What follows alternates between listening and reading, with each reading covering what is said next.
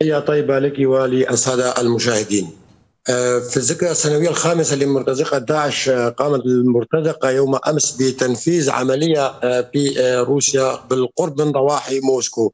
هذا يؤكد مرارا ما قالته قوات سوريا الديمقراطية والإدارة الذاتية لإقليم شمال وشرق سوريا بأن مرتزقة داعش ما زالت موجودة على الأرض. ما زال هذا الفكر متطرف في جميع أنحاء دول العالم ويحاول تنظيم نفسه مرة أخرى من خلال استغلال أي فرصة دولية من إعادة تنظيم نفسه، قوات سوريا الديمقراطية ومن خلال المقاومة التاريخية البطولية التي قامت بها استطاعت القضاء على هذا الفكر عسكريا على الأرض، لكن ما يزال تنظيم داعش موجود على الأرض والصمت الدولي هو الذي يدفع إعادة تنظيم داعش لإعادة نفسه من جديد.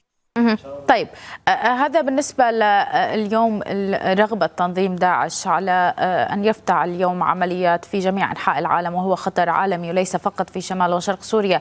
ولكن اليوم الوضع أمنيا كيف يبدو في شمال وشرق سوريا من قبيل أو بما يخص مسألة محاربة الإرهاب؟ عمليات قوات سوريا الديمقراطية بالتنسيق مع التحالف الدولي حتى الآن ما زالت مستمرة على الأرض. في محاولة للقضاء على ما تبقى من مرتزقة داعش المختبئين على الأنظار في المنطقة وأيضا محاربة هذا الفكر المتطرف على الأرض. لكن هجمات جيش الاحتلال التركي الأخيرة على المنطقة رأينا قبل عام أحداث سجن صناعة محاولة فرار أكثر من ألف مرتزق من مرتزقة داعش. هؤلاء لو استطاعوا الفرار لكان وقتها كارثة بشرية على العالم أجمع.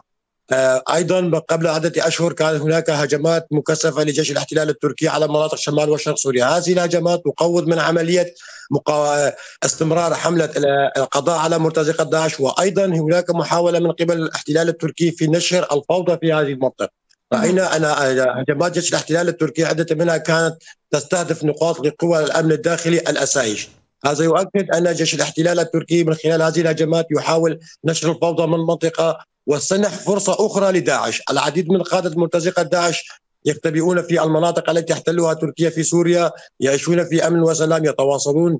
أحداث سجن صناعة كانت لهم صلة من أجل فرار مرتزقة داعش. وأيضا منذ بداية تأسيس داعش تركيا كانت لديها يد في تأسيس داعش. لكن من خلال اجتماعات التي تقوم بها تركيا وإيران في ستانا بالاشراف مع روسيا، روسيا يوم أمس تعرضت لهجمات مرتزقه داعش، إيران وتركيا ومن خلال ما يعملون ضد مناطق شمال وشرق سوريا يعطون فرصة أخرى لمرتزقه داعش من أجل إعادة تنظيم نعم. نفسه ونشر فكرهم في العالم. أشكرك جزيل الشكر على كل ما تفضلت به من شمال شرق سوريا الصحفي في وكالة هوار للأنباء ريناس أحمد رمو شكرا جزيلا لك